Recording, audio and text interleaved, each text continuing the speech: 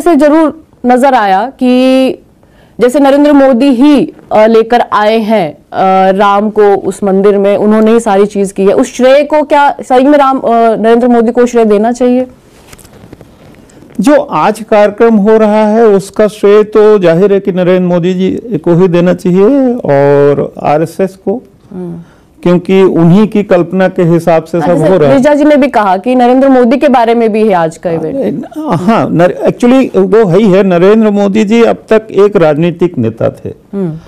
अब उनके समर्थक कहने लगे हैं कि वही हमारे शंकराचार्य हैं। मतलब वो एक नया नए रूप में आ रहे हैं नरेंद्र मोदी जी। और जो जन ट्रस्ट है उस उन्होंने तो ये कहा कि साहब वो विष्णु के अवतार हैं।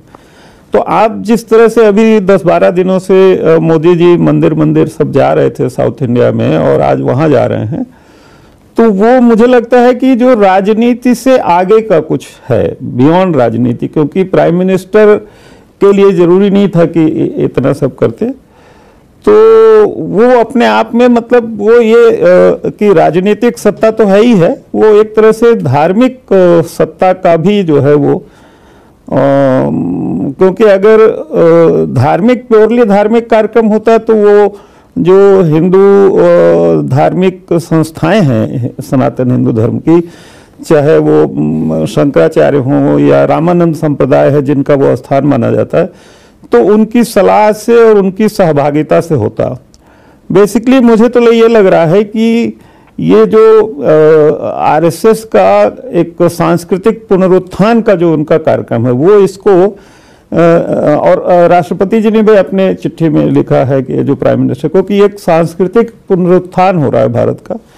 तो जो उनका अपना हिंदुत्व का विजन है क्योंकि देखिए हिंदुत्व का केवल एक विजन नहीं है बहुत सारे विजन है अलग अलग है। गांधी जी का अलग था बहुत है। कबीरदास का अपना अलग था तुलसीदास का अलग था।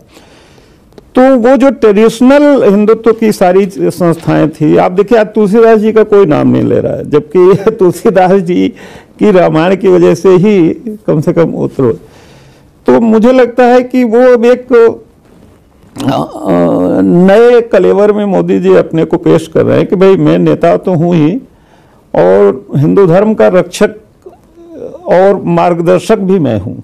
वो मतलब एक, और जितना मैं समझता हूँ कि ताकत हो सकती थी सरकार के पास या पार्टी के पास या संघ के साथ, सब उन्होंने झोंक दी है।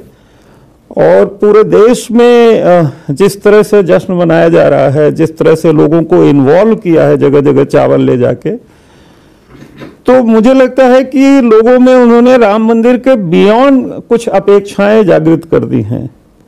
अब उस दिशा में वो कितना जा पाएँगे, नहीं जा पाएँगे, मुझे लगता है जैसे जैसे राजनीतिक शक्ति उनको मिलेगी, वो होगा। क्योंकि देखिए, इसमें कोई कहने की बात नहीं है कि जो राष्ट्रीय स्वयंसेवक संघ है, जिसकी एक शाखा है बीजेपी, उनका बड़ा विजन तो हिंदू राष्ट्र का है।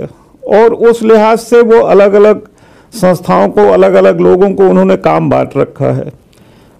अब मोदी जी के जिम्मे ये काम है कि आप उसको पॉलिटिकल कैसे आप उसको मैनेवरिंग करके ले जाते हैं। तो एक प्रबल जनमत, जैसे वाजपेयी जी ने भी कभी कहा था कि चूँकि अभी हमारे पास पूरा समर्थन नहीं है जब पूरा समर्थन होगा तब हम उसमें करेंगे। इसलिए उन्होंने एजेंडे से बाहर रख दिया था।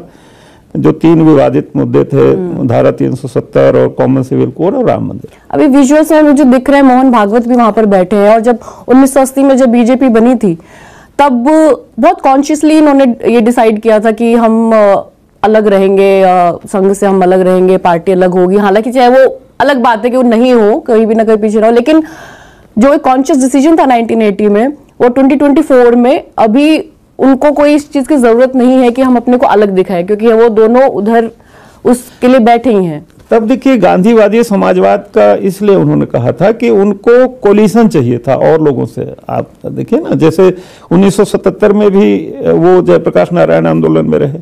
उसके बाद उनको तमाम दलों का सहयोग चाहिए था। तो ज़ाहिर है कि वो प्योरली हिंदू राष्ट्र की बात उस समय नहीं कर सकते थे। तो वो स्टेप बाय स्टेप और अलग अलग लोगों को अलग अलग रोल है। जैसे राम मंदिर आंदोलन में आप 6 दिसंबर को ही देखिए तो वाजपेयी जी का रोल अलग था। वो लखनऊ गए, उन्होंने आडवाणी जी के, जोशी जी को बकअप किया और कहा जाइए और वो खुद चले आए दिल्ली। और जब मस्जिद गिर गई शाम को तो सभी ने ये कहना शुरू किया कि साहब बहुत दुखद हुआ शर्मनाक हुआ हम नहीं चाहते थे। उनके रिटर्न वक्तव्य उस दिन हमको मिले थे। अयोध्या में मैं था रमाशंकर अग्निहोत्री जी ने दिया था। लेकिन जब बाद में उन्होंने देखा कि भाई उनके समर्थक तो खुश हैं तो फिर क्रेडिट लेने लगे। तो और फिर पार्लियामेंट में देखा कि वैसा है तो वाजपेयी जी ने वहाँ फिर कहा कि साहब जो हुआ बहुत गलत हुआ। तो सबके अलग अलग रोल डिसाइडेड हैं सबके अलग अलग डायलॉग्स लिखे हैं। तो स्क्रिप्ट राइटिंग मुझे लगता है और जो विजन है वो भागवत जी ही देने की ज़िम्मेदारी है उस समय। और उसको जैसी जैसी सामर्थ्य होगी राजनीतिक शक्ति कितनी मिलती है अब खास करके अगले चुनाव में क्योंकि उनको फुल मेजॉरिटी से केवल काम नहीं चलेगा। जी। संविधान में जो वो मौलिक संशोधन करना चाहते हैं उसके लिए राजनीतिक ताकत